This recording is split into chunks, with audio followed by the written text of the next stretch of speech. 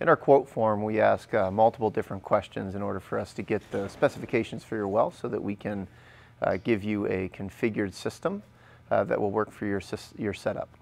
Um, I'm going to go through each one of the questions and give you some context uh, to make it a little bit easier for you to answer the questions.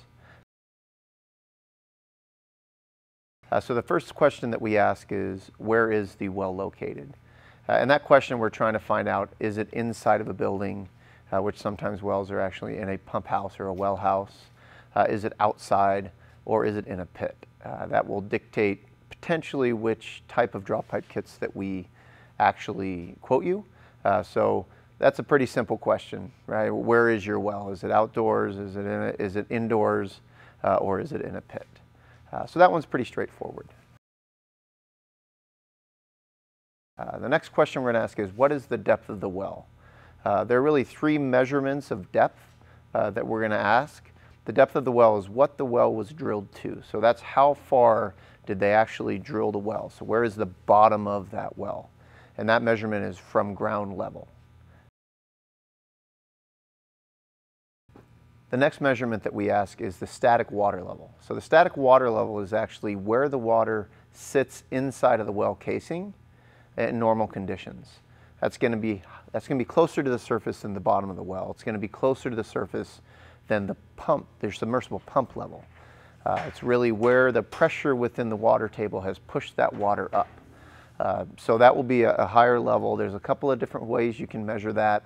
Uh, you can use a bobber uh, with a weight on the end of it to you know drop a line down until you get to uh, until it stops, till it goes slack, and then you can pull up and, and, and look at it uh, and, and, measure that distance across that, that line that you did.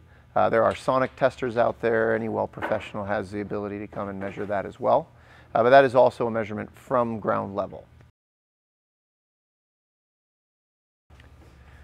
We ask you if that static water level measurement, if it's either measured or if it's estimated.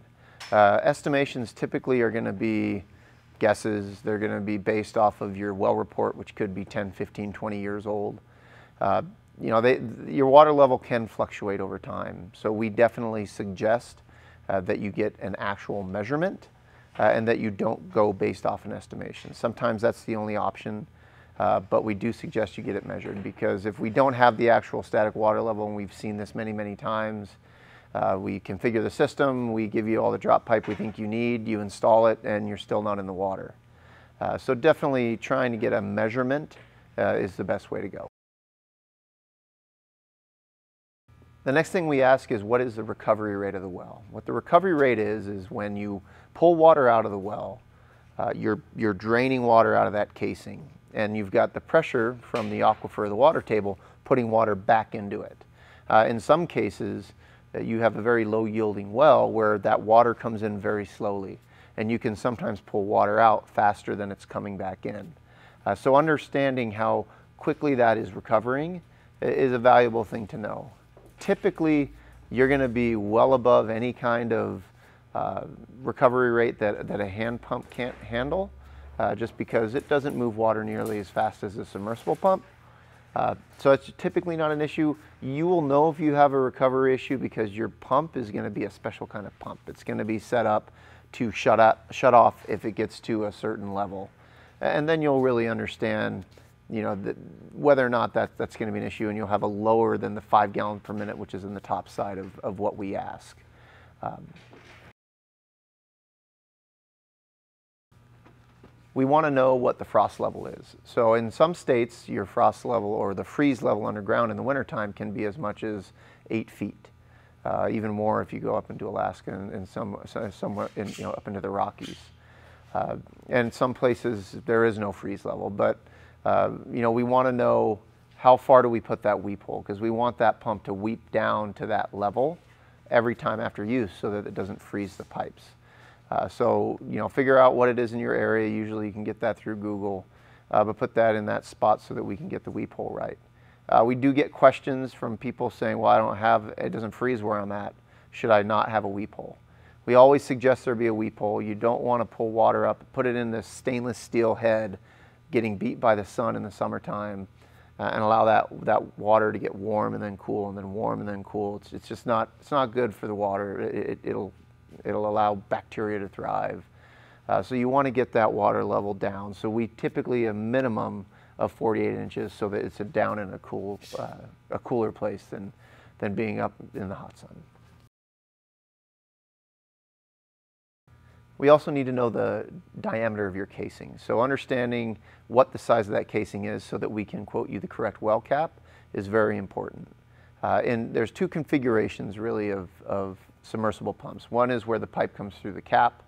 The other is where it actually comes through a pitless adapter underground. The one that comes to, out underground is much easier to check. Usually there's just a cover on top of the well or it's a cap that's very easy to remove. And then you can just take and put a tape measure across and you can see the inside diameter, you can see the outside diameter. That's much more difficult when the entire weight of the submersible is sitting on the cap. And in that case, what we suggest is you take a cloth tape and you put it around the circumference of the casing. Don't put it around the circumference of the existing cap. Make sure it's actually around the casing, the part that goes, looks like it goes down in the ground. That is the casing. Uh, so pull that around the edge and then you can either look at our form to see what that circumference associates with, and there's also a bunch of converters online to convert that uh, circumference uh, into a diameter. We also need to ask you what the how high the casing sticks up above ground. So that's relevant because with our pump head assembly, you need to have at least half of it below the well cap. Uh, and if your casing is only three inches off the ground and you have to have half of that pump head assembly below the well cap, you're going to be bending over to pump. So we have two, two lengths of pump head assemblies. One is two feet, one is four feet, so that we can allow for a correct installation where half of that pump head assembly is below the cap, but yet is sitting up high enough for you to pump. Uh, so having that, that height gives us the ability to determine which pump head assembly you require.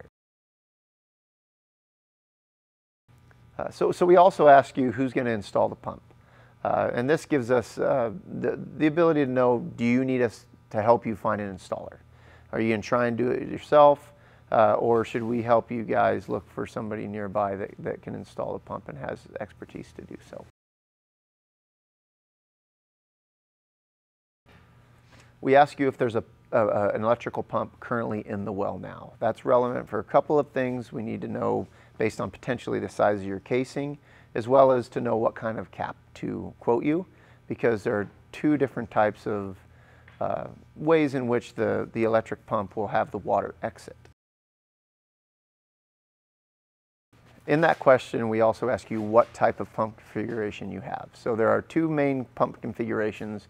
One is a submersible where it exits through the cap or the water line exits through the cap. Uh, the other is pitless adapter, and that's where it exits through the side of the casing underground. Uh, those two styles actually require a different type of cap, uh, which is why we ask you that.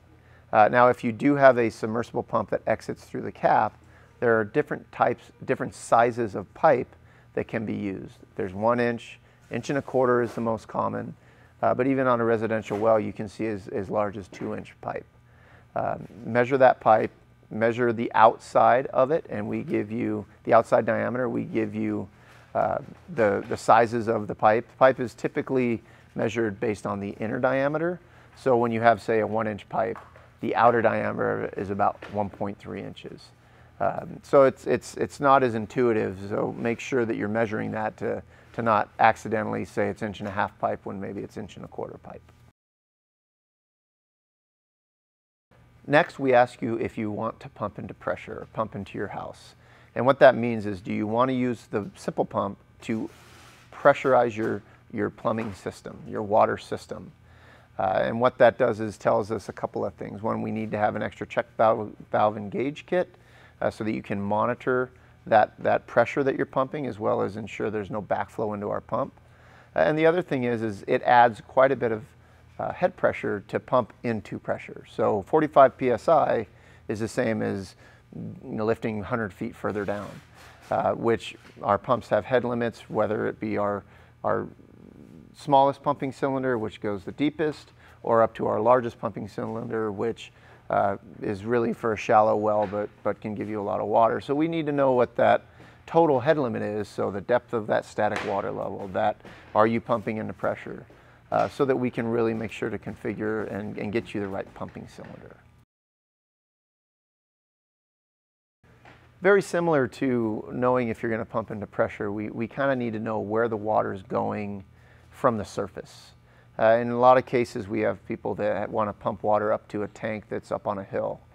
Uh, and, and that's the same as potentially pumping into pressure, right? Or pumping from a deeper water level. Because if you've got 100 feet, say, for example, to get water to the surface, but then you need to pump it 100 feet up a hill, well, now you have a total lift of 200 feet, uh, which again will tell us what pumping cylinder and what handle you need to order. And that vertical rise is vertical. So let's worry about just that elevation change that you're doing. If it's 400 feet horizontal and 20 feet vertical, all we need to know is the 20 feet vertical. Head pressure uh, is not actually impacted by horizontal runs, it's only by vertical runs. We do have a motor option. We do have uh, DC powered gear motors that can go onto our pumps and can be used instead of the handle. Uh, so we do ask you if you're interested in a motor. Um, there's a couple reasons we ask you now is that they have different limits than our handles do. So uh, it will also play into what pumping cylinder uh, that we can offer you in, in order for a motor to work. Uh, there are a couple different options that we have for the motors. Uh, one is a full battery backup, solar, everything you need minus the battery and the, the concrete to set the post. Uh, so it comes with a charge controller, it comes with uh, a solenoid system so that you could run a pressure switch or a float switch. Uh, it comes with all the, it comes with the panels, it comes with the mounting hardware, it comes with all the cabling, it comes with the drive system itself with the linkage. So everything you would need minus those batteries uh, and the, uh, the fence post concrete to, to set the post. Uh, the other option is just a standalone motor. So uh, where you can actually provide the power system yourself so you either provide the batteries or your own solar panels, your own way of charging those batteries. Uh, and that can be offered in two different ways. One is what we call weather resistant, so it's designed to be outside and deal with the elements of water, you know, rain, snow, um, sun, direct sun. Uh, the other one is, is intended to be inside of a pump house or to be covered because the motor is exposed so it, it's not protected from moisture and, and from the direct heat of the sun.